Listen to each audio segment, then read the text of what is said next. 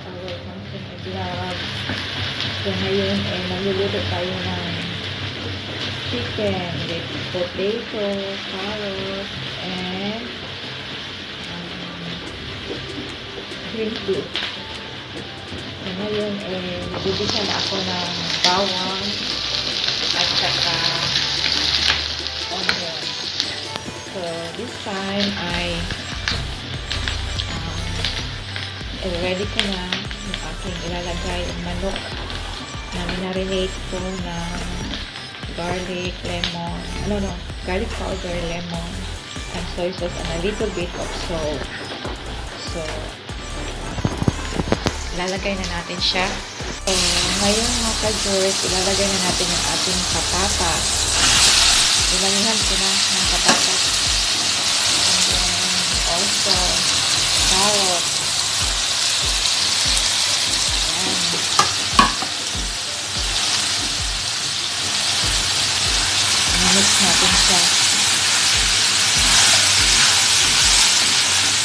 Mas gusto nila ng maraming vegetables kaysa ulam.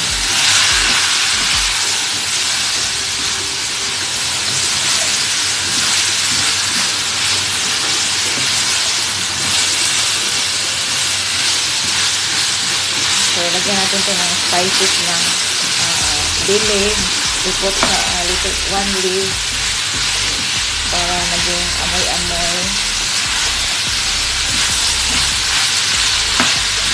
Konti.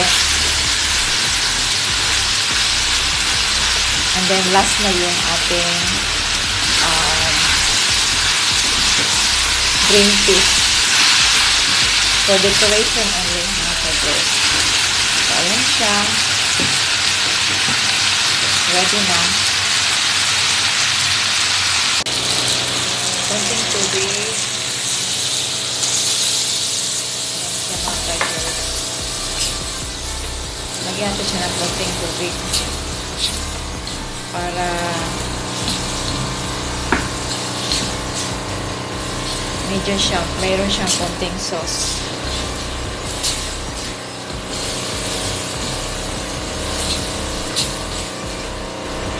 Maybe natin na. Lagyan pa natin ng additional water. Additional water.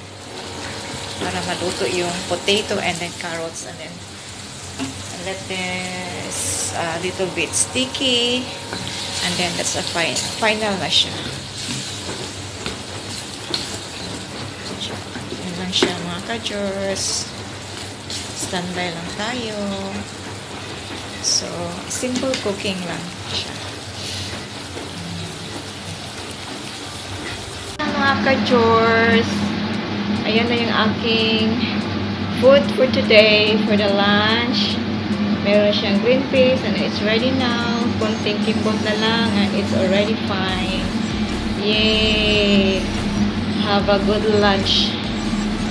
Good tummy. Happy tummy now.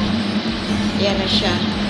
With my potato and carrot and green peas.